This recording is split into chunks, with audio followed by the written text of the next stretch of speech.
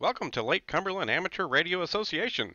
You can find us at lcara.net, on Facebook, on YouTube, and on Instagram.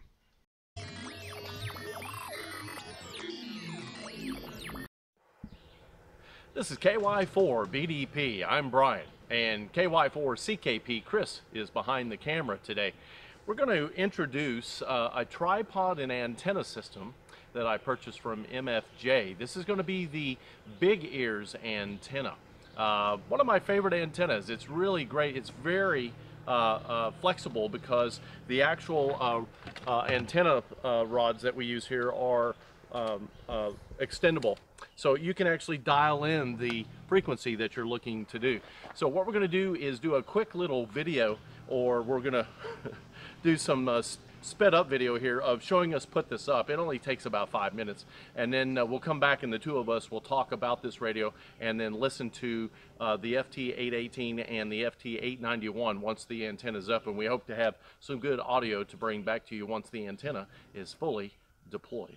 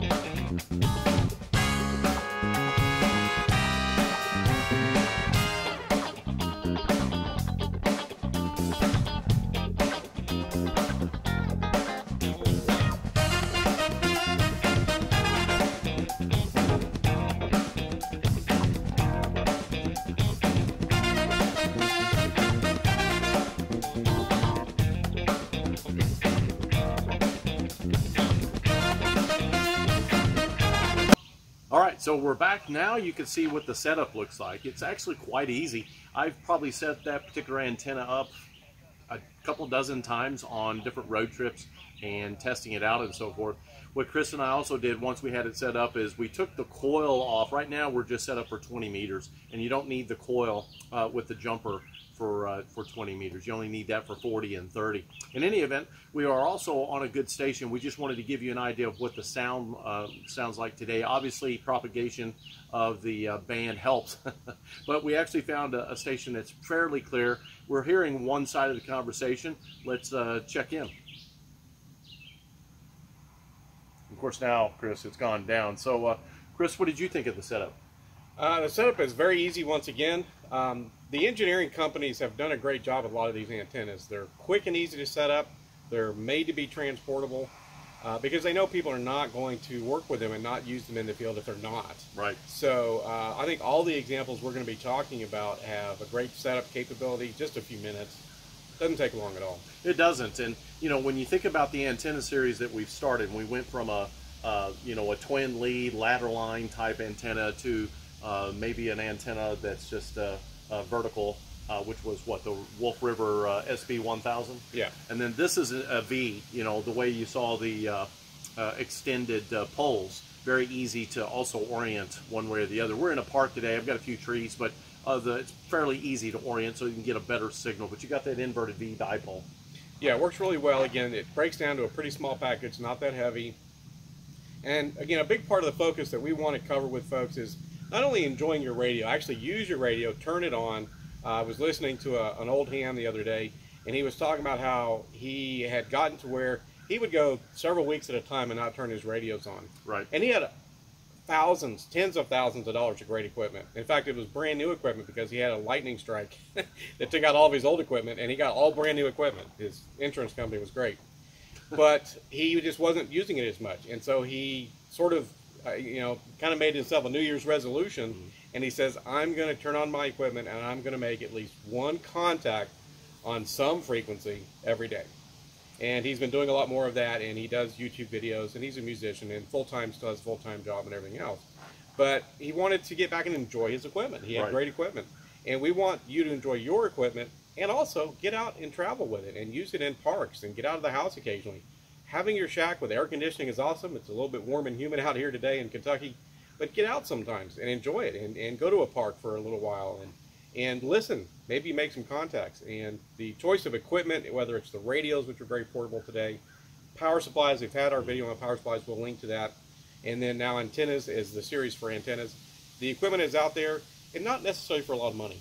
Well, eh, that's the thing. The, the hobbies, as Chris and I see it, is not meant to be contesting all the time. Uh, there's nothing wrong with contesting. There's a lot of good folks that do contesting. But the other side of it is, is just getting out, get some sunshine, get some vitamin D, uh, get out there and do something else with your time. Uh, for us, we're also trying to help out our club. So, you know, uh, we, we want to show that uh, there's a lot more to ham radio as a club-based activity than just, again, sitting at home. And there's some great radios for sitting at home, but we're showcasing those that are portable. And we're out here with our uh, club's trailer today. And again, the lead up and part of the series that we're uh, working on and releasing right now, Field Day 2019. We're wanting to help hopefully get people excited about Field Day. If it's your first time, it's going to be our first time. Right. Uh, attend your first Field Day event.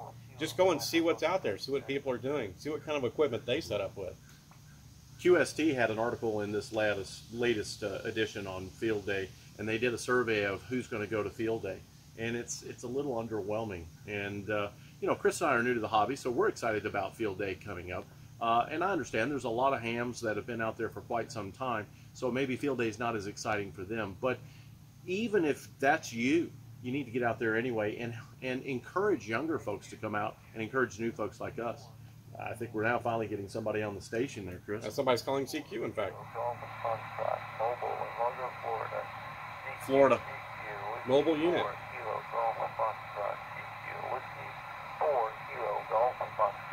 And we're not trying to actually uh, acknowledge anybody today. We want to keep the video simple as far as showing the equipment and the ease of setup, even on a hot, muggy day. But I think one of our future uh, videos, and maybe even sort of a series off and on, we'll be out in the parks and we'll do some, some contacts, uh, probably some actual POTA activation, Right. things like that. We'll have some of those videos as well. Today it's a little bit more about the equipment, some of these early series right now, again, leading up to Field Day 2019, just to help show people how relatively easy it is to get out there. Uh, again, get out of the shack occasionally. We all love our air conditioning, but uh, sometimes it's nice to get out there and realize that there's a big, beautiful world out there, and you can still enjoy this hobby, and it can still be very transportable. Uh, let's switch over to your radio. So let's take let's cut just for a moment. Let's hook it up to your radio. See what kind of uh, results we All get right. with the Big Ears antenna on the FT891. And we're back. So now we have the antenna hooked up to the FT891. Sometimes it's good to go back and forth between the gear because this is a QRP rig, the FT818. The 891 has got 100 watts, so I mean you can really reach out with folks uh, when propagation is a little less.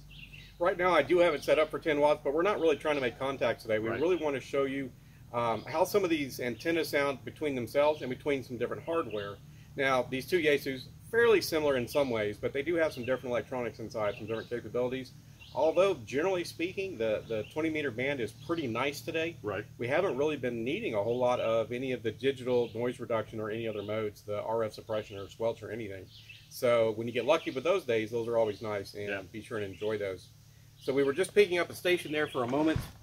Uh, they may have gone kind of quiet again. You know how it is with. Uh, we do have CQ.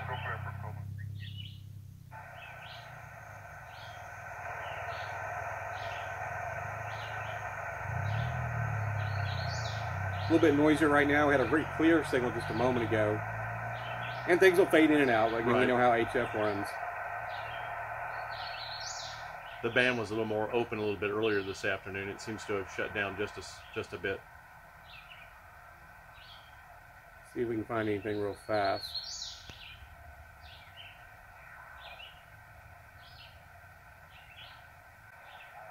Uh, last year we got we had Got another contact there. It's a little bit quiet. We've had some really strong ones, uh, and we wanted to try to give you a little better examples, but we're getting pretty similar results. By and large, pretty similar results between the two radios. Even though the 891 has a little bit more of the fancy electronics inside, we haven't been needing it today. Whatever we've received has been pretty equal between the antennas we're, we're going through today. So that's been nice. So, signal You Absolutely. don't, you don't have to have the latest and greatest hardware. There's lots of good stuff out there. If you're a gearhead like a lot of us are, it's a great time to be a ham. But relatively modest equipment can do a great job.